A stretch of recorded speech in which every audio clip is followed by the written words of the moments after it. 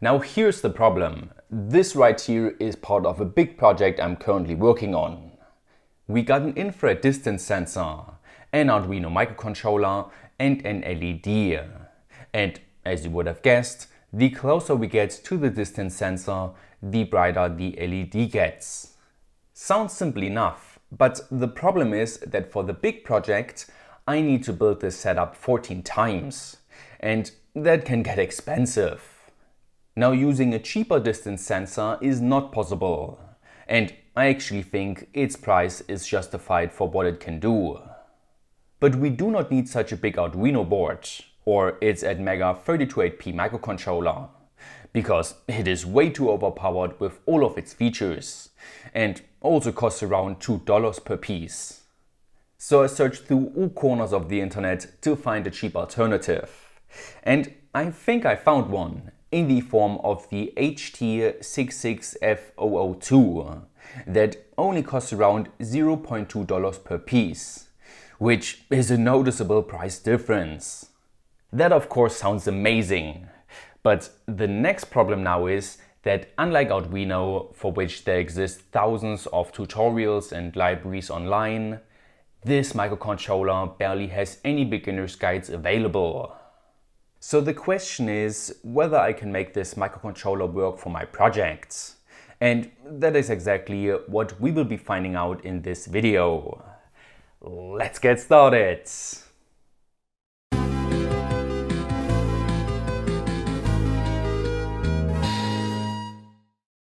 This video is sponsored by JLCPCB, whose PCB service I used for many years and projects now. Their online platform is user-friendly, easy to navigate, and best of all, you can receive your PCBs in just a week by using their fastest shipping option. If that sounds like your cup of tea, then you can order their premium quality 1 to 8 layer PCBs starting at $2. Or even try out their 3D printing service, starting at just 30 cents. And last but not least, let me tell you a secret that their colorful silkscreen PCBs are coming soon, so stay tuned. Now let's start off with finding out what the microcontrollers need to be able to do in my projects. The simplest thing would be using the pins as inputs and outputs, meaning they can pull their pins high or low as an output to, for example, blink an LED, or they can detect when their pins are getting pulled high or low as an input. Then we need to create a PWM signal with variable duty cycle, which looks something like this on the oscilloscope. This is definitely mandatory to dim the brightness of LEDs. And while we're at it, maybe it would be helpful to read the analog voltage of a potentiometer to dim the brightness of an LED accordingly which means we need an analog to digital converter. And last but not least, a sleep mode would be beneficial to save a bit of power. And of course, we definitely need to be able to use the I2C communication protocol to obviously communicate with our distance sensor. So yeah, these are the main features I need for my projects. And to find out whether my cheap microcontroller here can do them all, I firstly checked its datasheets. And yes, it seems like pretty much all functions are in theory possible to do, except one that I will address later. And of course, when comparing these specs to all the microcontrollers I already had a look at before, then it is definitely not a powerhouse, but certainly the cheapest option I ever looked at. So to get started with it, I first desorted it onto a breakout board. And next had to actually get myself another piece of hardware for it, which is its dedicated programmer, the E-Link.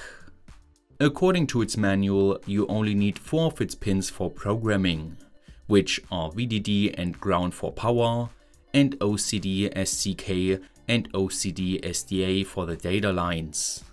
Connecting those to the microcontroller was luckily super straightforward, since the datasheet clearly states what pin connects where. And just like that, it was time for programming, for which I first had to install the HT IDE 3000 and the Hope 3000 software.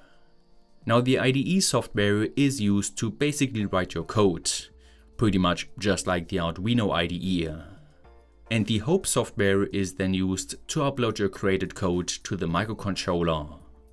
And with that out of the way, let's create our first project called Blink, select the HT66F002 and let's get started with coding a blinking LED.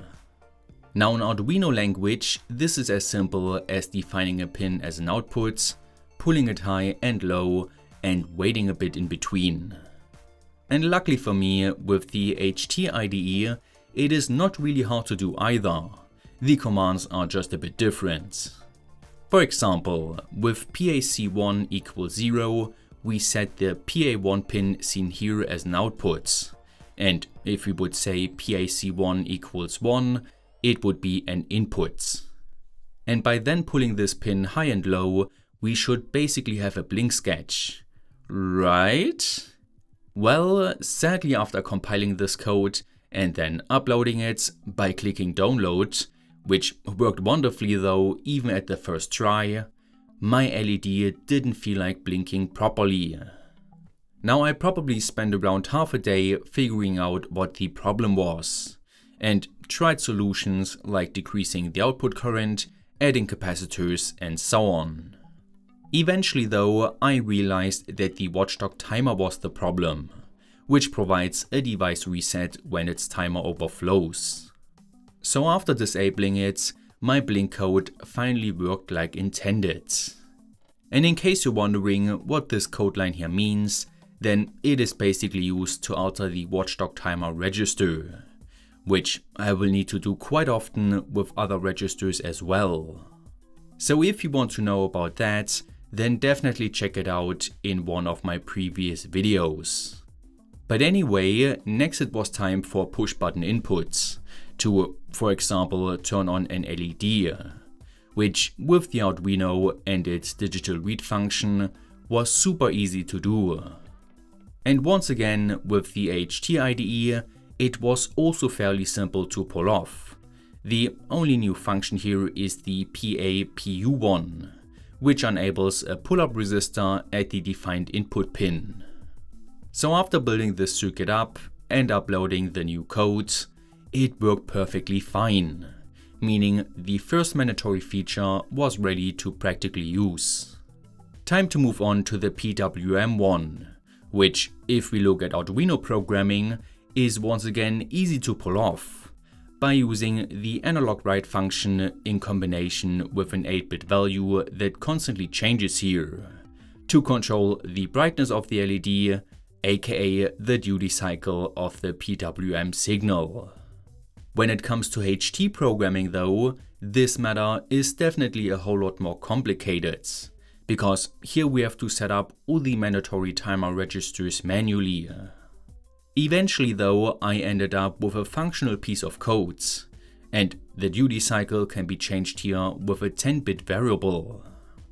And after uploading this code, you can see that it works just like the Arduino one, and even features a higher frequency in direct comparison, which was only around 490 Hz before.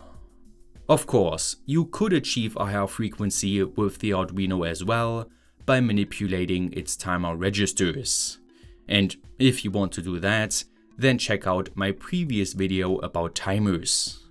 But anyway, PWM works, and it was time for an analog input, aka a potentiometer. And I feel like a broken record here by saying that Arduino makes it super simple to use this function. With the cheap microcontroller though, it took me around 3 hours to manipulate the right register, and then use bitmath to store the final analog voltage value in a variable that I can then pass over to the PWM function. But as you can see, that was worth it in the end, because I ultimately got it to work. And I think generally it is simpler to program with Arduino, because there you got a serial interface, meaning you can check at every point what the value of a certain variable is, which makes troubleshooting so much easier. With my cheap microcontroller I cannot do that, so it was a lot of trial and error. But either way ADC works, meaning low power was next, and here it was luckily easy to realize, since this whole command puts the microcontroller into sleep modes. And by defining one input as a wake up input, you can bring the microcontroller back to life. Here you can see the final example, which after blinking 5 times goes into sleep modes, where I got the microcontroller current demand down to 11 microamps. And by pushing this button, we basically turn it all back on and repeat this process. Nice! And that brings us to the last I2C feature, which my small microcontroller is sadly missing. But luckily there are dozens of Holtek microcontrollers out there, and this HT66F0176 apparently comes with I2C, and only costs around 30 cents per piece. So after soldering it on a breakout board and making sure that everything still works by uploading my PWM sketch, it was time to dig into the I2C function. But sadly, after around one hour, I realized that this microcontroller, along with apparently all other Holtek 8-bit microcontrollers I could get a hold on, only supports I2C in slave mode but for my project I need it as a master. This basically shattered my goal of using these microcontrollers for my projects. And truth be told, I only realized that after spending 3 days getting used to its programming. So was this video pointless in the end? I think not, because now I know that the Holtek microcontrollers are not only cheap, but also relatively easy to program for. And yes, the IDE looks like Windows 95, but it is simple, free and does its job just fine. Combine that with the fact that they make lots of application specific microcontrollers, like some for smoke detection, BLDC motors, or even with a 24-bit ADC, and you got yourself some pretty compelling advantages here. But on the other hand though, the programmer for the 8-bit microcontrollers is quite pricey for hobbyists. And like I said before, there are not many libraries or guides around, which are all in all my main complaints here. And if you want to use them for yourself, then definitely check out the video description, where I linked all good guides I found, as well as all the code I created in this video, and a bit more. With that being said, it is time for me to find another cheap microcontroller for my project. And I think I already know what I will try next. Until then, I hope you enjoyed this show. And maybe consider supporting it through Patreon to keep it going. Don't forget to like, share, subscribe and hit the notification bell. Stay creative and I will see you next time.